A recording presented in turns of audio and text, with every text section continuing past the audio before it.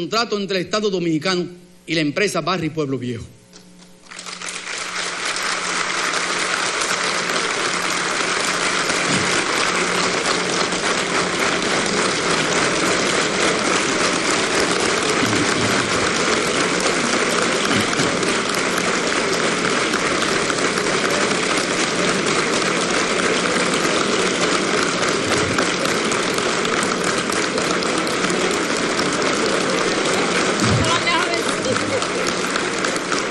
Muchas gracias.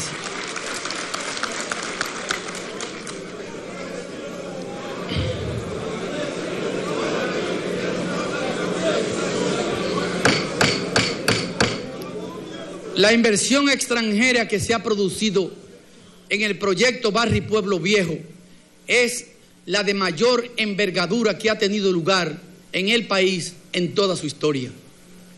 Se estima que la inversión realizada alcanza más de 3 mil millones de dólares, monto que deberá ser validado por la auditoría que el Estado Dominicano ha contratado con las SGS de Suiza. Estoy convencido que la Barri es una empresa seria, comprometida con la minería responsable y cumplidora de las normas de las normas y mejores prácticas para proteger nuestro medio ambiente.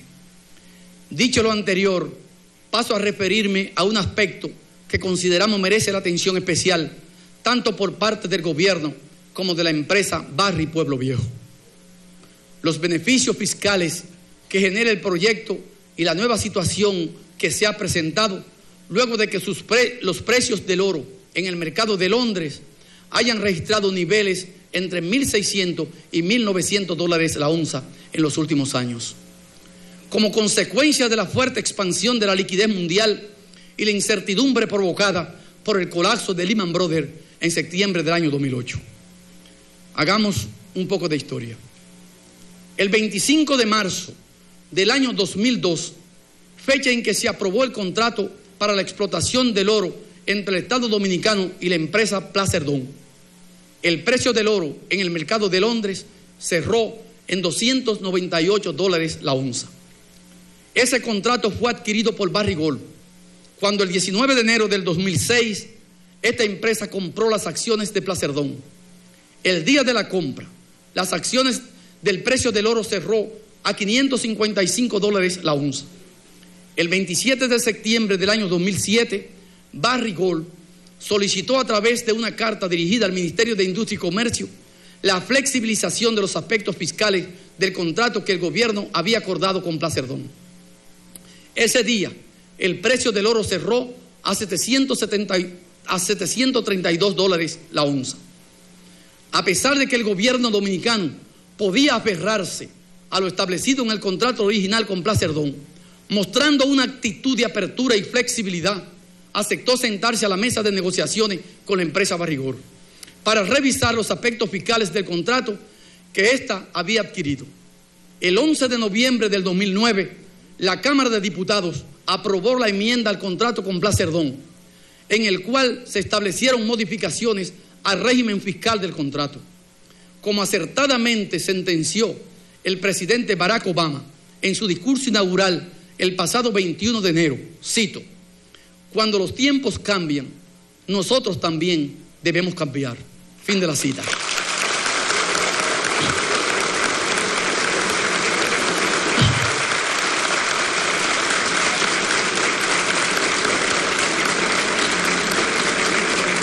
Y nadie, y nadie, absolutamente nadie puede negar que luego de la crisis financiera del 2008, los tiempos de hoy son muy diferentes a los de principios de década.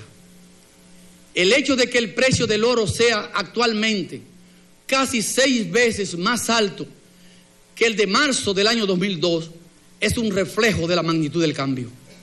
Fue eso lo que nos motivó desde que asumimos la presidencia de la República el pasado 16 de agosto del 2012, a designar una comisión oficial de alto nivel bajo la coordinación del ministro de la Presidencia, con el mandato de iniciar conversaciones con los ejecutivos de la empresa Barry Pueblo Viejo. El objetivo de la comisión es acordar modificaciones al esquema fiscal establecido en el contrato, dado el cambio dramático que ha tenido lugar en el precio del oro en el mercado de Londres. Decenas de reuniones han tenido lugar en los últimos seis meses sin que a la fecha se haya logrado convencer a la empresa sobre la necesidad y la urgencia de hacer las correcciones necesarias al esquema actual de distribución de los ingresos entre la empresa y el Estado dominicano derivado de la explotación del oro. A lo sumo, lo único que la empresa ha ofrecido es la posibilidad de adelantar el pago de los impuestos futuros, es decir, lo que se cobrará después del 16 a otros gobiernos para dárselo a este gobierno.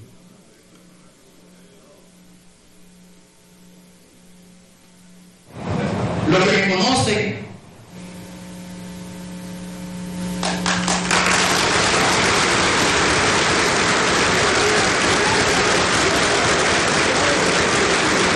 Gracias.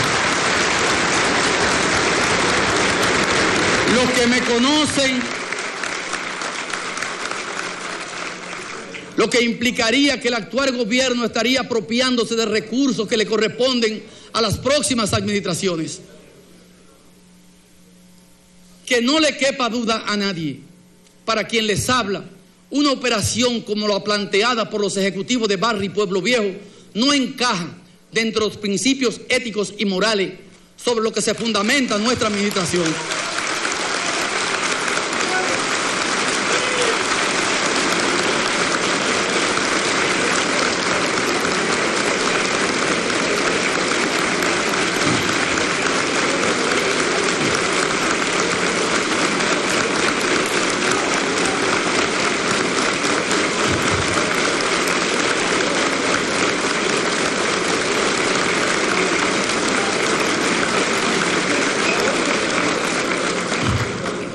bajo el esquema fiscal establecido. En la más reciente versión del contrato para la explotación del oro de Pueblo Viejo, con un precio promedio de 1.700 dólares la onza de oro y de 28 dólares la onza de plata, la empresa Barri Pueblo Viejo obtendría ingresos netos de costos operativos por 2.600 millones de dólares en los dos primeros años de producción, asumiendo exportaciones de un millón de onzas de oro y poco más de dos millones de onzas de plata.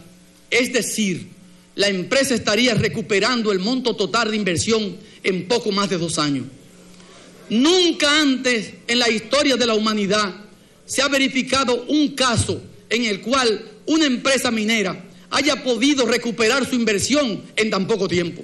Mientras el Estado mientras el Estado del país, receptor de la inversión, estaría recibiendo migajas durante esos años.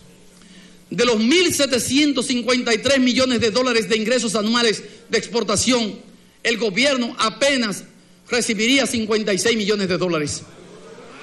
En otras palabras, durante los primeros años, por cada 100 dólares de ingresos de exportación de oro y otros metales de barri, Barris recibiría 97 dólares y el pueblo dominicano 3. Dominicanos y dominicanas. Eso es sencillamente inaceptable.